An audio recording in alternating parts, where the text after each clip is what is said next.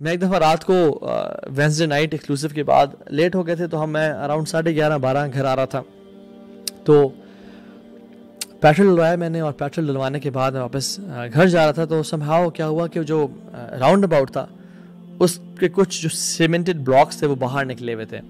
और मुझसे भी बेदहानी हुई आई वॉज़ इन फोकस्ड मेरी गाड़ी का टायर उस पर लगा और वो गाड़ी उछली और वो नीचे गिरा और उसका एक्सल टूट गया।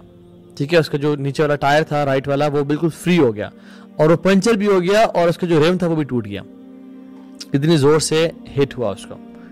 आई वाज लाइक अल्लाह कदर माशा फ़ाल ये क्या हो गया?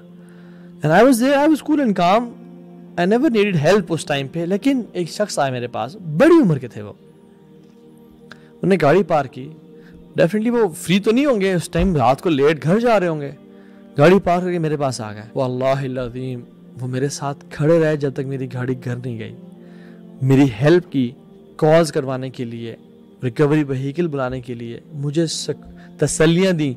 मेरी वो बैक बोन और सपोर्ट बन के रहे। हालाँकि आए टू बी ऑनेस्ट मैं अकेला भी ठीक था, लेकिन उनकी प्रेजेंस ने मुझे बहुत ज़्यादा कंफर्ट किया, बहुत ज़्यादा कंफर्ट किया। कि I have a company to talk to I have someone with me right now मैं अकेला नहीं हूँ। मुश्किल हालात में ना इंसान अकेला खड़ा होना तो बड़ा अजीब सा फील करता है, बेबस फील करता है।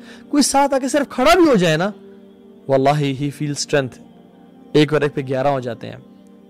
कोई तो है मेरे साथ इस टाइम सिर्फ़ यहाँ तक नहीं, बल्कि उसको बुलवा के, उसको गाइड किया, मेरी गाड़ी में बैठ के रिकवरी व्हीकल पे गाड़ी चढ़वाई।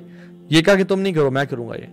और चढ़वा के घर पहुँचाया, और फिर यहाँ तक इंसान बस ठीक है मदद करती है, अब छोड़ दे। अगले दिन मैकेनिक को कॉल किया अपने मैकेनिक को कि तुमने ख्याल रखना है और तुमने क्या क्या काम करना है तुमने कौन सी चीज़ लेनी है और उसे बारगेन भी खुद किया और मुझे कहा तुमने किसी के पास नहीं जाना सवाए इस मैकेनिक किसी के पास जाना है। और सारा काम करवाया। पता चल रहा था कि वो मुझे भी नहीं जानते। बहुत से लोग ना आपके साथ एहसान करते हैं because they know you you have benefited them या उन्होंने आपके लेक्चर सुनते हैं। ही नेवर न्यू मी ये आपको बता सकता हूँ। अगले दिन मैकेनिक को कॉल की, उसके पास ले गए, उसे बार्गेन किया, मुझे सारा गाइड किया। हर एक एक घंटे बाद हाँ काम कितना हो गया? अच्छा ये चीज़ नहीं लेनी, वो लेनी है।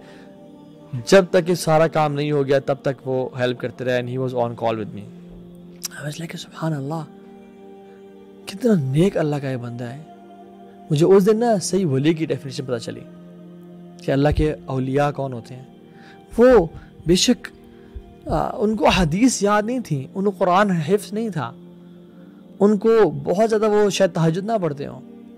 लेकिन he was the most beneficial to people और ये होते हैं अल्लाह के अलिया अल्लाह ने क्या फरमाया? It is more beloved to me to walk with a Muslim for his help than sitting in एतकाफ in my मस्जिद मस्जिद नबी for one whole month just imagine अल्लाह के नबी का एतकाफ कैसा होगा, उनका कुरान कैसा होगा मस्जिद नबी कैसी है। और वहाँ में एक नमाज़ पढ़ने का कितना अजर है? अल्लाह में ये फरमा रहे हैं। हमारी प्रायोरिटीज़ किधर है? हमारे सब किधर है? ये कुछ चीज़ों पे बिल्कुल कॉम्प्रोमाइज़ नहीं करना। नमाज़ पे नहीं करना। फ़र्ज़ नमाज़ को नहीं छोड़ सकते।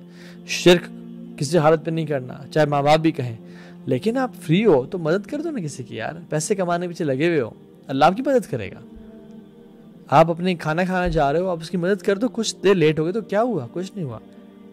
So be from those people who are the most beneficial to people. Whoever walks with his brother regarding a need until he secures it for him, then Allah subhanahu wa ta'ala will make his footings firm across the bridge on the day of judgment when the footings will be shaken. Allahu Akbar. कि जो अपने भाई की मदद करेगा कहाँ तक इस हदीस में क्या आता है नेक्स्ट स्टेप में कि जब तक वो उसका काम करवा नहीं लेता जब तक वो उसका काम सिक्योर नहीं कर लेता तो अल्लाह सुबहान तला क्यामत के दिन पुल सरात के ऊपर से जब लोगों के कदम फिसल रहे होंगे, इसके कदमों को जमात देकर और खड़ा कर देगा। अल्लाह अकबर।